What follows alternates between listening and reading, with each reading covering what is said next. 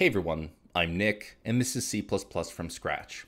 So in this new series, we're going to be learning about C++, starting from the very basics, and getting to know the language and some of the more modern and advanced features. And along the way, we'll also be looking at some cool projects and ways in which we can use C++. Now, before we get into some of the more advanced topics, we really have to start off with a good foundation which means we really have to understand what C++ is and how we can write basic programs uh, using the language. So I think a great place to start off is just trying to answer the question of what is C++, right? At least in some simple form. How can we describe the language? And I typically do this in just a single sentence, and that's that C++ is a compiled language that is statically typed. Uh, but even in that one sentence, there's quite a lot to unpack, right? What does it mean to be a compiled language? Um, what does it mean for a language to be statically typed? And what even really is a type, right? So let's try to break that down, right? So first of all, what does it mean for a language to be a compiled language? Well, all this really means is that uh, we can't execute our source code directly, right? So we write some code in C++, we can't directly run that code. We have to pass it off to another tool, a piece of system software, called a compiler. And it's a job of that compiler to translate our source code into something that we can execute, uh, something that we typically call an executable, right? That we can run uh, on our processor. And it's in the language that our processor understands. Now, for example, on this machine, this Linux machine, um, I would give, say, my high level C source code to a compiler driver like G, which is part of the GNU compiler collection, GCC. Um, and G++ would perform all the actions necessary, so things like pre-processing, compilation, assembly, linking, to translate my C++ into an executable that we can then run uh, uh, on the machine. Okay, so that's what we mean by compiled language. Now, what about the second part of that sentence, right? That C++ is statically typed. Um, and what really even is a type? So inside of our programs, we have a lot of values, right? Um, and for every single value we have in our program, all those values have an associated type. And those types really just say what that value is, right? Is it a, a, a, floating point number? Is it a positive or negative whole number, so an integral type? Um, or is it some kind of complex data structure? And what are the rules around using that particular value, right? What operators can be used and what do those operators do? So that's what we kind of mean by types. Now, when we say that something is statically typed, right, or language is statically typed, what we just really mean is that once we assign a type to something, that type can't change. It's static. And it's something that uh, the compiler needs to know about, right, at compilation time. It's not something that can change at runtime.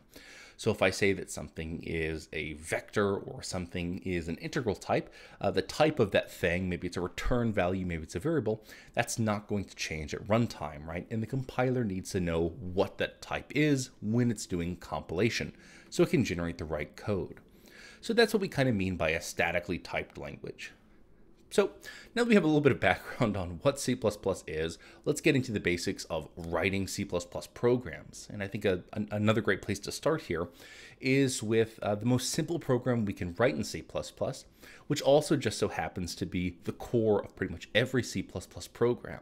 And that's just going to be a main function. So let's go ahead and get started over here, and we'll create a new file called main.cpp. So CPP is just a C++ extension you might also see .cc used. Either of these extensions uh, works perfectly fine for C++ code. Now, uh, for my particular, you know, uh, setup over here, I'm going to be, you know, opening and creating and editing these files using the text editor Vim. But feel free to use whatever editor or IDE works for you. So something like Visual Studio Code is a great option. So let me go ahead and open up main.cpp. So our new C++ file.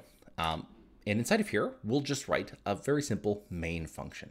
So it'll be int main with an empty parameter list and then some curly brackets here, right? And that'll be our function body. Um, and then inside of our curly brackets, we'll do return zero, right? So this is the most simple program we can write, right? It's just a main function. So let's try to understand a bit about what's going on here. So first of all, when we say a main function, what do we really mean by function? Now, a function is just a named body of code, right? So whenever we say call this function, right, by whatever name we've given it, um, we'll execute all the code inside of the function body. And that's just everything within these curly brackets, right? We'll start executing the statements in that function body. And in this case, the only thing we have in the function body is a single return zero statement. So return here is just a keyword in C++. A keyword is just a word that's reserved by the language that has a special meaning. So in this case, it means that this function is going to return a value. Um, and that value in this case is just zero. In our statements in C++ end with a semicolon, right? So that's our function body. Now up here we have the name of our function. So we've given it uh, the name main here. We've given it a return type, right? So it's a typed language, a statically typed language. Um, so here we're saying that our function, right, after we call it, it's going to return some type, and that type is an int, right, an integer. Uh, integer is just a positive or negative whole number. And then uh, over here, we have some open and close parens here. Now inside of these parens is something that we call a parameter list, and that's all the things that we want to pass into this function. So if we want to use some extra values in the function, right, when we call it, we can pass some extra values through this parameter list here.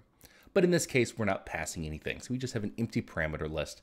Um, our function does not take anything. It just returns um, this zero right here, right, this integer. So that's a little bit of background on functions. Now, we're going to be talking about functions a lot later, but there's something very special about this function, right? This main function. And like I said earlier, um, this is really the core of every C++ program. So why exactly did I say that? What makes this main function so special? Well, main is a special function in C and C++ because it's logically where execution begins for every C++ application. So after I compile my code and I run that executable, where does my program start executing? Well, it starts executing at the main function, right? Wherever that function might be inside of all of our source files. So logically, our program starts execution at main, right? So that's what makes main so special, right? Um, so that's why it's the core of every single C++ program. Now, there are some caveats around that regarding, say, initialization of things like globals, uh, but we'll get into that in later videos. But we can just think about main as where a program begins executing. Okay, so now that we have our basic program here, the most simple thing we can write in the core of our C++ applications, uh, let's go ahead and compile this and run this. So we'll go ahead and quit out of here, and then we can go ahead and compile this using a compiler driver like G++, which like I said is part of the GNU compiler collection, GCC. So we'll do G++, pass in uh, main.cpp, um, which is our input source file, and then we'll give our output executable name. So we'll do dash O and we'll just call our executable main. So after that, if we go ahead and list the files in our directory, we see we have an executable and our source file right here. So we translated our, our source file into an executable, right, through using our compiler driver. And if we go ahead and do ls-la, we can see that unlike our source file, we have execute permissions, right, on this executable, so we can run this file. So let's go ahead and run this file, right, this executable. So we'll do just dot slash main, or we'll just call main, uh, this executable. And we see that nothing really happens, right? Which is somewhat expected. All we had is a main function that returns zero. Now, uh, a very obvious question people will have is what happens when I'm returning zero? Where is that value going? Well, the return value of main is typically used to signify, you know, whether or not a program completed successfully. Zero generally meaning that a program completed without errors, right? And we can actually see that return value from the command line using something like echo dollar sign question mark. So we can get the return value for the uh, uh, last executable we ran, so in this case, we see a return value zero. But we can of course go just back into our main.cpp, open this up, and we can return a different value, right? So we can return something like 12 instead. Now remember, C++ is a compiled language, so now that I've made this change into my source code, I have to recompile and generate a new executable. So we'll go ahead and do that again. We'll call g++ on main.cpp, and just override our executable main here. We'll just create a new executable with this new source. All right, so we have our new executable here, and we can go ahead and run main again, and we can go ahead and run echo again to get that return code. And we see exactly what we specified inside of our main function, right?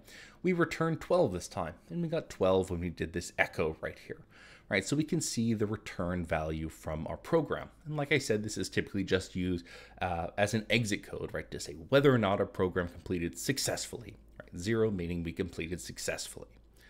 All right, so that's a brief introduction to um, C++ as a language, right?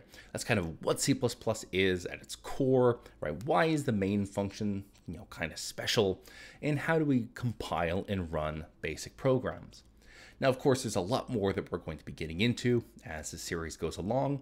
And there's, of course, um, some references that I'd like to point out. So, probably the best reference site that I could point you to is this cppreference.com, right? This is basically the ground truth if you want to learn more um, about C++ and the C++ standards. So there are many different versions of the language as well uh, that we'll be talking about as things go along, going from C++ 98 all the way up to the much more modern C++ 23, right? And different compilers support um, slightly different things in terms of these standards, right? Which is something we'll talk about in later videos.